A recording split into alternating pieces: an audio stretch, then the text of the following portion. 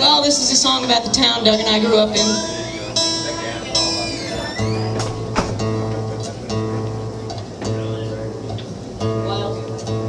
This is probably my favorite song on our new record. Come talk to us after the show, and uh, we'll tell you all about it. All of our journeys and uh, the two records and the documentary and all that.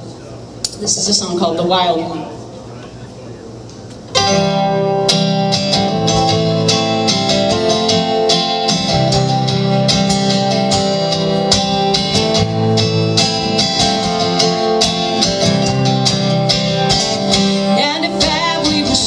17,